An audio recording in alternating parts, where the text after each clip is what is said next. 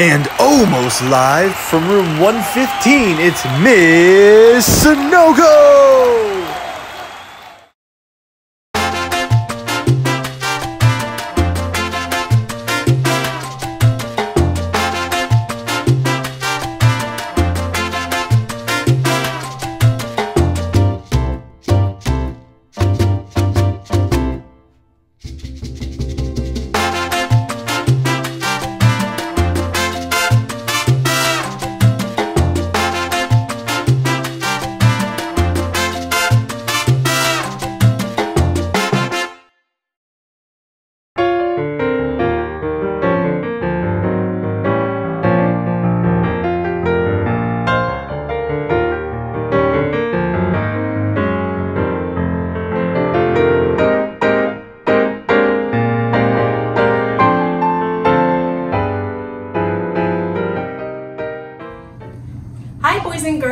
Welcome back to our third episode. Our weekly read aloud is called The Monster Who Ate My Peas, written by Danny Schnitzlein and illustrated by Matt Faulkner.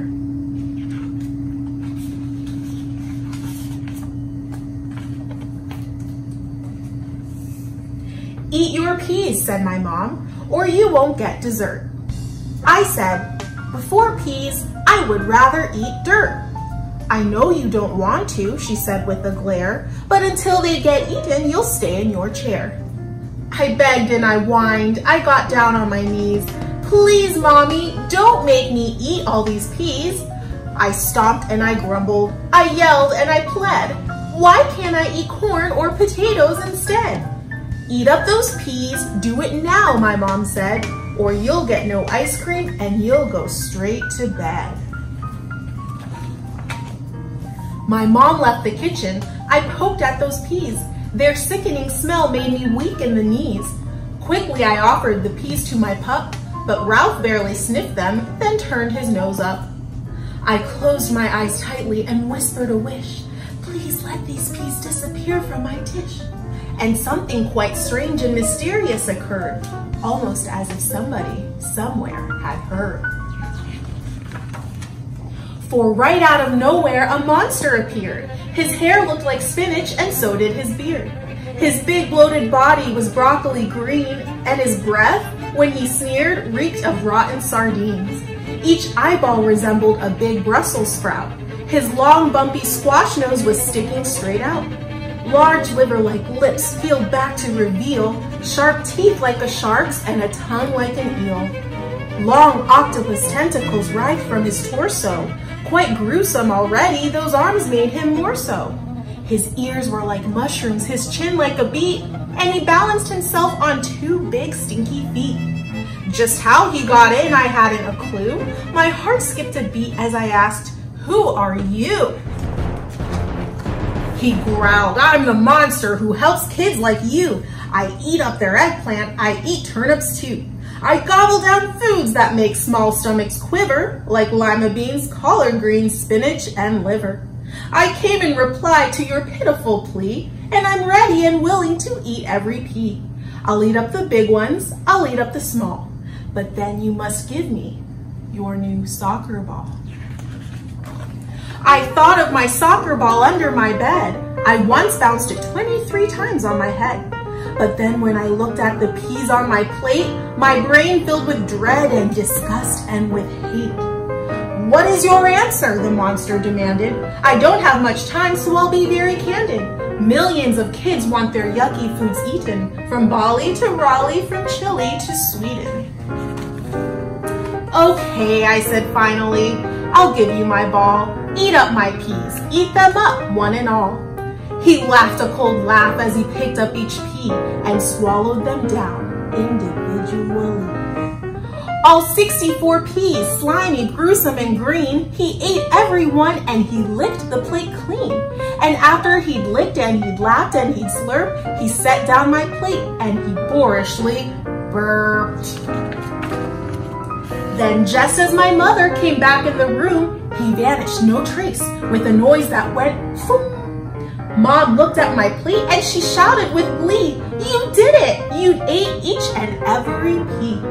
She gave me a hug and my ice cream, so yummy, with chocolate on top, so good in my tummy. Then I went on upstairs and peered under my bed. I started to sweat, my heart filled with dread. For there in the spot where my ball used to be, there was only one very small, squishy green pea. And now when I want to play soccer with dad, I think of that ball and I get very sad. If I've said it one time, then I've said it 10. I won't make a trade with a monster again. Not long after that, we had peas with our meal. The monster appeared with the same kind of deal. I'll eat up your peas just as quick as you like, but then in return, you must give me your bike. I thought of my bicycle shiny and knew I'd spent my whole savings to buy it. That's true. But when I looked down at those gloppy green peas, I felt like you feel when you get a disease. Okay, I said sadly, I'll give you my bike. Just eat up these peas, get them out of my sight. The monster then opened his mouth very wide. He took all my peas and he dumped them inside. He chewed and he chomped and he swallowed them down. Then boom, he was gone, off for some other town. My mom served me cake, but I just couldn't eat it. I walked to the door feeling down and defeated. I twisted the knob and I shuffled outside to get on my bike and go out for a ride. I looked all around and I started to cry. My bike wasn't out there. I think you know why. And right in the space where my bike used to be, there was only one very small mushy green pea. Now when my friends take their bikes for a ride, they never ask me, so I stay home inside. If I've said it one time, then I've said it 10. I won't make a trade with the monster again. A week after that, there were peas in the stew. The monster showed up like he always would do. The words that he said made my whole body freeze. Give me your puppy and I'll eat your peas. I looked down at Ralph, he gazed up at me. I looked at my plate at each ghastly green pea. Come on, growled the monster, I'm already late. Just give me your dog and I'll finish your plate. I looked at those peas and I just about gagged. I looked back at Ralph, his scruffy tail wagged. My pup put his cold little nose on my knee. I reached for my fork and I speared a small pea. I opened my mouth and I squinched up my eyes. The pea touched my tongue and I got a surprise. That pea didn't taste like I thought that it would. I had to admit it. That pea tasted good. I picked up another and chewed it and swallowed. Each pea tasted better than those it had followed. I ate every pea till there wasn't a trace, and Ralph thanked me kindly by licking my face. I turned to the monster, that grumpy old guy, to say, I don't need you, and told him goodbye. But right in the spot where the monster had stood was only a pea, and it tasted quite good. And now there's not one single food I won't try. If others can eat it, well then, so can I. I'm happier now than I ever have been, and I never will trade with a monster again.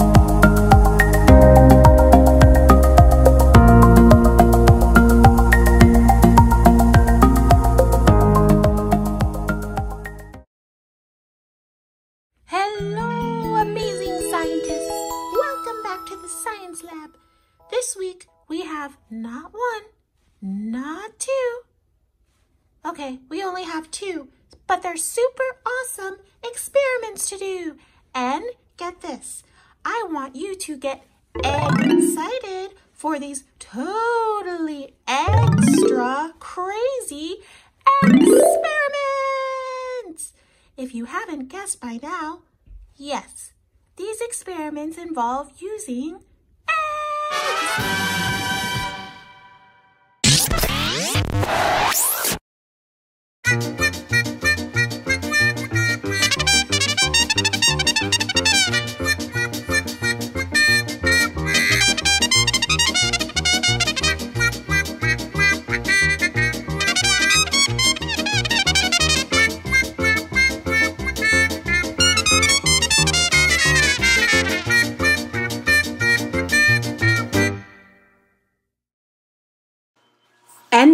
for a magic trick.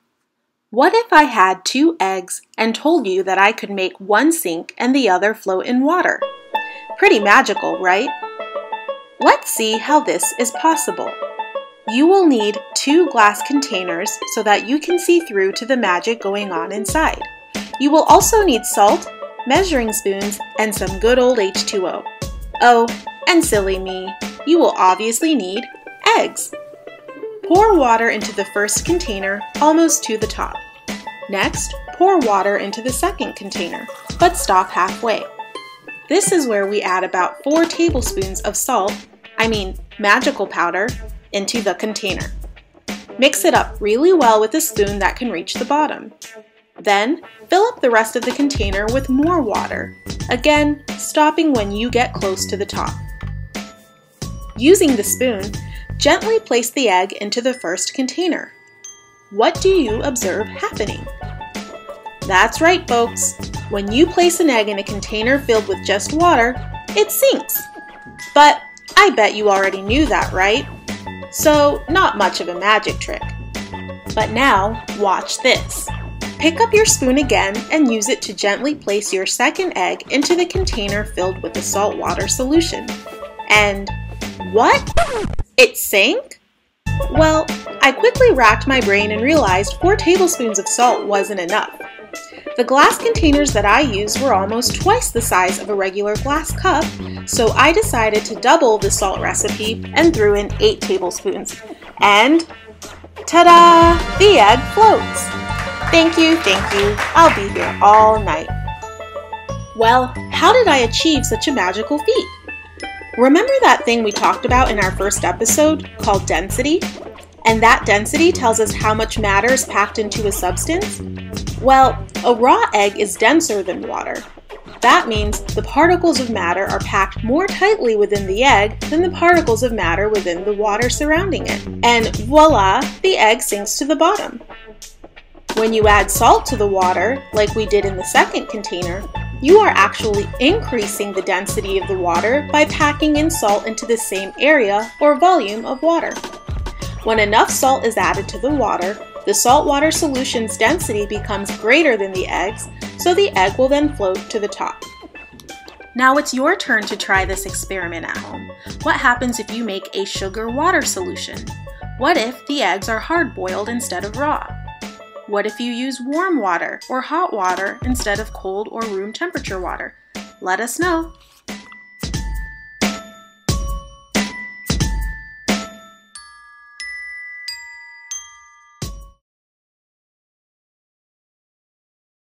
What if I told you that I could get an egg to drop into a glass container filled with water? Easy peasy. Well, not so fast. What if I also told you that the egg is perched on top of a cardboard tube that is balanced on a shallow container that sits on top of the glass container filled with water? Phew, let's try this together. You will need a glass container filled three quarters of the way with water. Place a shallow pie dish or any other shallow container on top of the glass container. Next, take a cardboard tube and place it on top of the shallow container. You can use the tube found inside a roll of toilet paper. Ask your parents where they are hiding those. Or the inside of a, of a paper towel roll. Just make sure to cut it down to size if you do. And to top off this crazy balancing act, add an egg on top. Or if you're like me and want to test it out first because you just want to be sure, use a prop like a small ball or squishy to see if it will work. I used a ping pong ball. Stand directly behind your setup. Place your hand about 6 inches away from the pie dish and quickly, but firmly and with control, smack the pie dish out of the way. You want to hit the edge of the pie dish with enough force to knock the cardboard tube out from under the egg. Gravity will do the rest as the egg falls directly into the glass of water. Aha! It worked! Now, time to repeat the experiment, this time using an actual egg. I added food coloring for visual effect and to feel fancy. Think back to last week's episode when we discussed that, without force, an object will either remain still or keep moving in the same direction. The egg is not moving while it sits on top of the tube. By smacking the edge of the pie dish, we apply enough force to cause it to knock out from under the cardboard tube. The edge of the pie pan was high enough to catch the bottom of the cardboard tube as it flung over to the side. We basically knocked the support out from under the egg. From there, the force of gravity took over and pulled the egg straight down toward the center of the earth, in this case, straight down into the water, interrupting the egg's fall and preventing it from breaking. Now, it's your turn. What happens if we use different sizes of cardboard tubes? Can you do this with three eggs? With four? Try it at home and share your videos with us.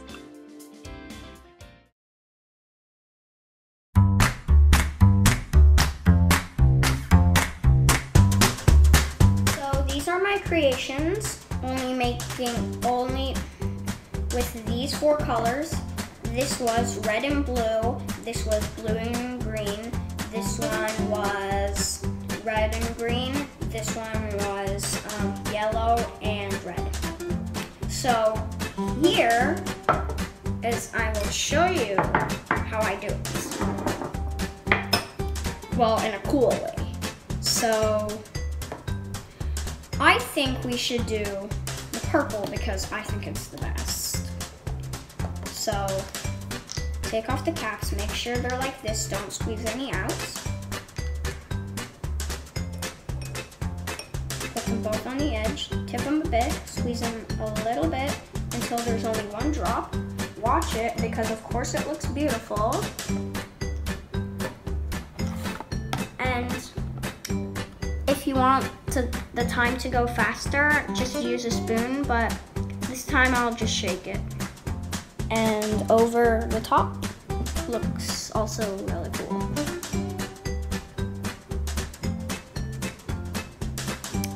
So now I will shake it. As you see, it's starting to look like the, it's starting to get darker and a bit of purple is appearing. So it gets lighter when you shake it and darker when you don't. That's how you do it. Hello, everyone. Perfect. Today I'm going to tell you about our stoop. The stoop on the front of your house, right? Yep. So, That's the stoop. so there, so this is Daddy is showing you the stoop. It's lime. It's made of limestone. It's and as you know, limestone is a sedimentary rock. And you know, we all know how sedimentary rock forms by sediment. The sediment clumps together at the bottom of the ocean to form this. And what is it that we're looking at? the shells on the sedimentary rock. Okay. Where was Which it? one? Oh, right here. These are. So this one I really like because it's one of them that shows out. It shows out really good. You can point at it. It shows out really good. Now the other one I want to show is this. It's another one that shows out, and it still has colors. Can you believe it? Now I'm going to show you this one. This one is a whole shell. It's it's it lets you see the inside of the limestone. Here, I'll see if I can get close. Right here. Now I'm going to show you this. It looks like a wishbone, right? We don't know if it actually is a wishbone. We don't know if it's actually a bone. Now I'm going to show you this one. It's like a regular shell, but it makes it, but it forms a hole. Really cool, right? What are you going to show us? Pollution. The pollution. Oh, Okay. can you see any shells here? One is, that one is one that's still showing out. And this one is another one that has color. Really cool, right? And why did why is there pollution on the limestone? Because this house is very old. It's been in the city for a really long time. Okay. So you see all this dark color? That is the pollution. This doesn't have as much dark color. It does it has more shells. Check it out. Yeah, so those are all the shells. And where were all of these shells a long, long time ago? At the bottom of the ocean. Oh, there's a wishbone. Wait, right oh, Oh, yeah. it looks like a Y. now let's see this one. Check Alright. this one out. It looks like two eyes. If there was a smile there, it would be a smiley face. so look. So this they both have stuff inside. They may even be connected. I hope you enjoyed this video. okay, that's great. Okay. Bye bye.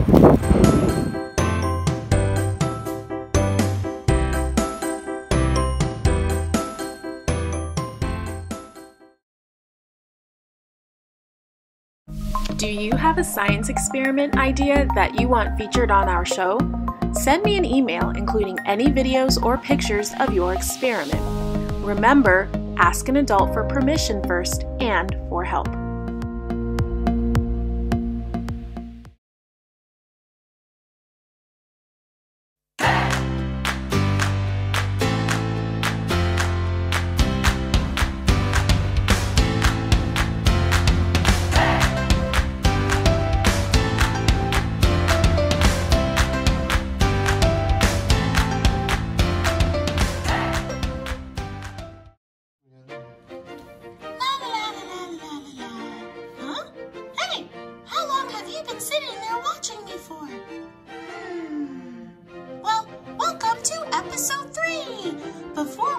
We introduce this week's Post-it question, let's take a look at your responses from last week. By the way, does this picture make me look fancy? I really wanted to make me look fancy. Bye bye. Last week's post-it question was, if you could invent something to make life better for others, what would it be? Here's what you had to say.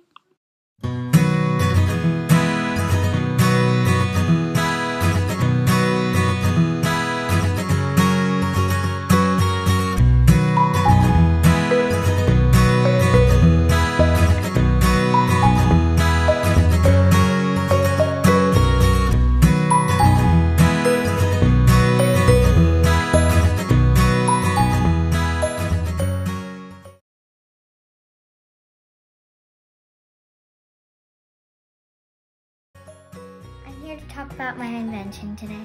I am inventing a hover car.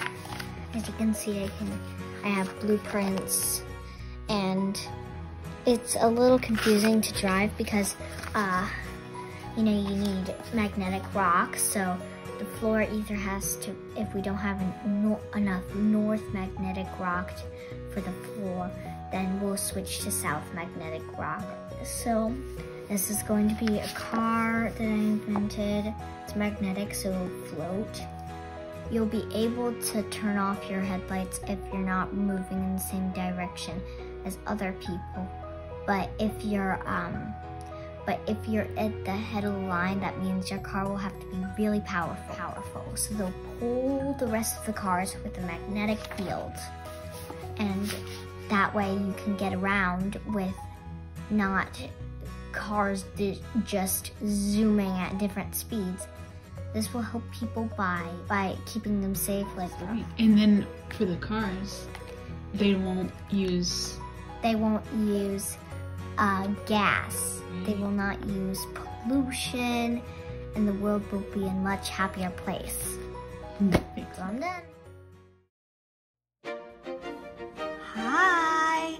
Thank you for all of your responses! Great inventions! Let's take a look now at this week's Post-it question of the week! Bye-bye.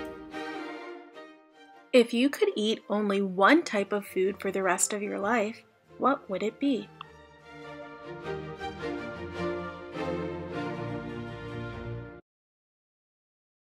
Do you have an answer to this week's post-it question? Email your responses to me. Make sure to ask an adult for help. My email address is msanogo at cps.edu.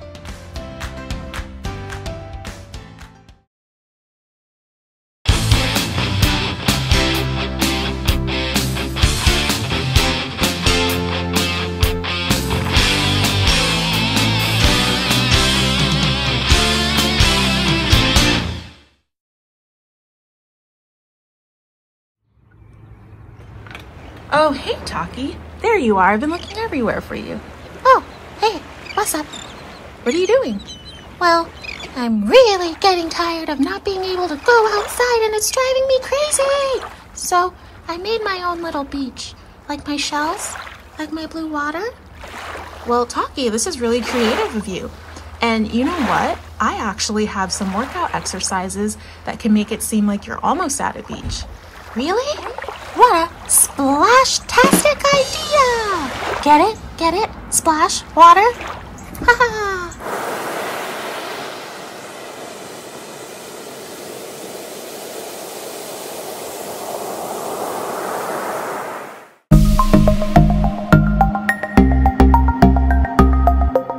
To do starfish jumps, spread your arms and legs wide as you jump into the air. Make an X or a starfish shape with your body. How many can you do in 30 seconds?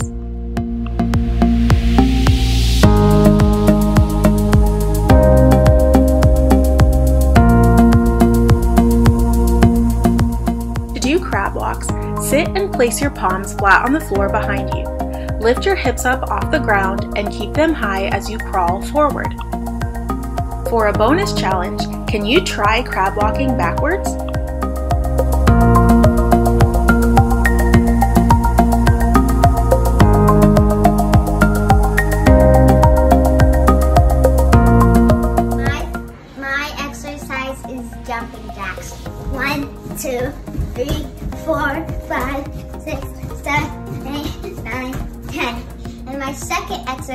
Is running in place. One, two, three, four,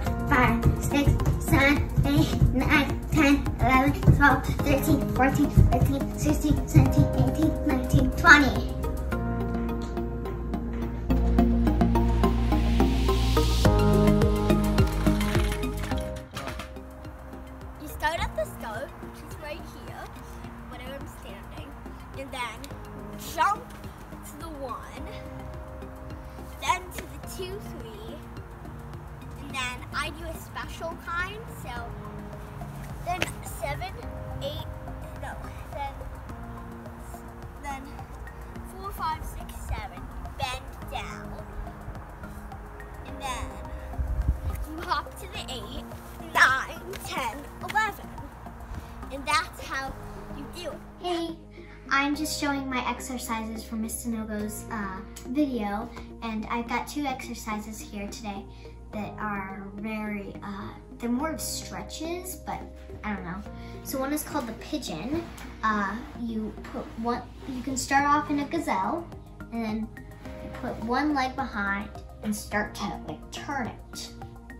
Turn it, and then you, if you're really flexible, put um, try to lay down on it and maybe even if you're really really flexible go into the splits and my second exercise it's kind of like a I don't know kind of like a marching strategy. So go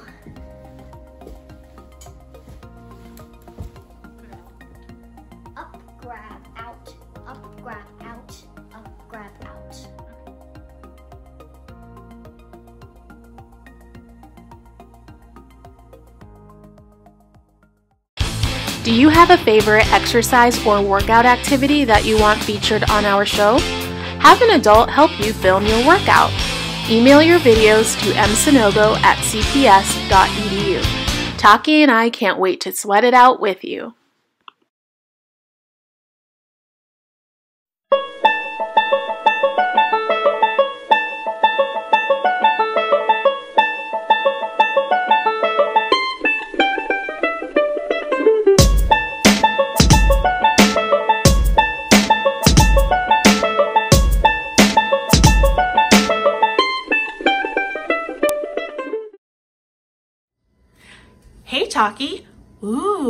Have here?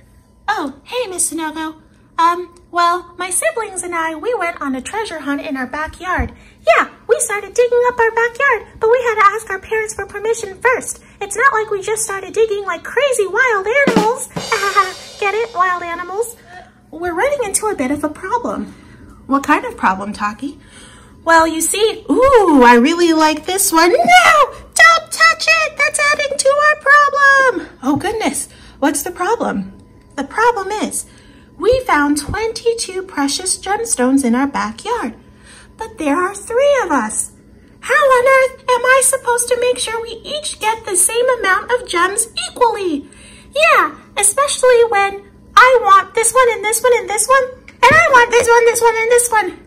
Hold it, guys. We need to ask the mathematicians for help. For the third time in a row, I am asking you mathematicians, help us! How can we make sure that we each get the same amount of gemstones for it to be fair? And also, will there be any left over?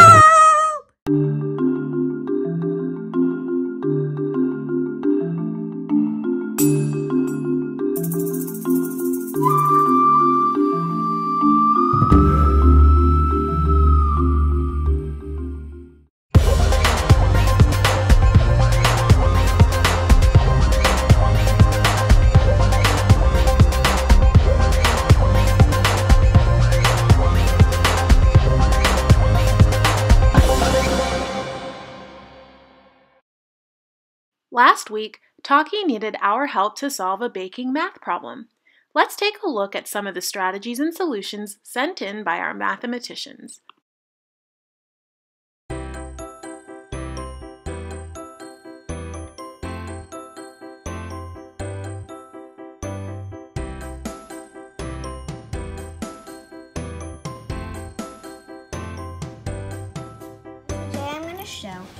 I solved Miss Sanogo's math problem. Now, what are these two for? Now, Taki doesn't know how much he started with, which was actually 87. Now, he gave away 62, and he ended up with 25. So, you had to figure out how much he had. So, I decided to do this. Let's see if I am correct. Now we're going to count the ones to check if this is the right answer. One, two, three, four, five, six, seven. That is correct. Now let's count this. Seven. Eight. So that is correct. Now what does this equal together? 87, because that is the tens and that is the ones.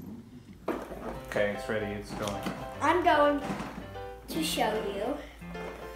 I'm going to show you the answer to the math question. So,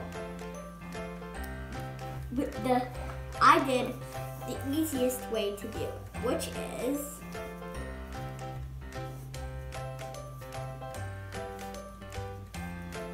a a place value. So, if so, I started off with 62.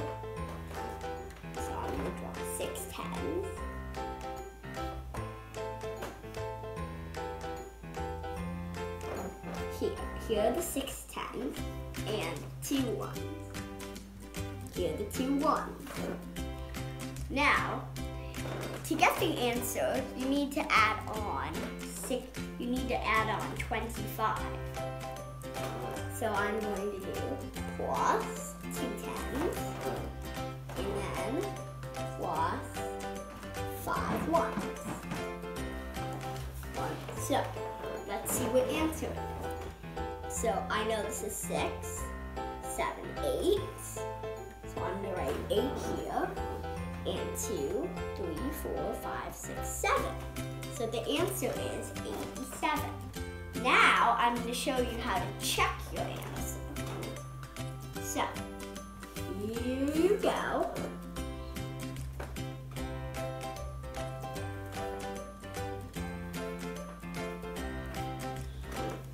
So, I'm going to draw 87.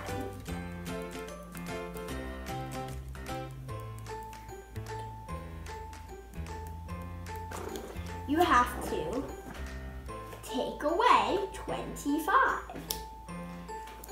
So, cross out two tens, one, two, then cross out five ones. One, two,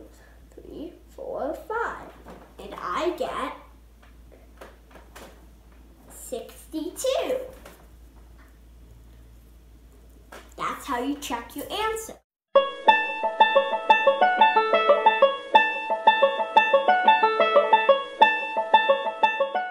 Do you have a solution to our math problem of the week? Email me your response. For a bonus challenge, is there more than one way to solve the problem? I can't wait to hear from you.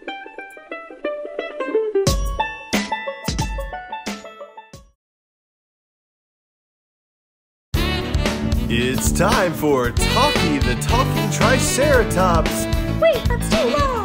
Triple T time! Yay! Knock knock. Who's there? Cash? Cashew? No thanks. I want almonds. knock knock. Who's there? Handsome. Handsome who? Handsome mustard to me, please. knock knock. Who's there? Anything for me to eat. I'm hungry. Ah, ah, ah, Hello. Thanks for watching. Love, Miss Anita.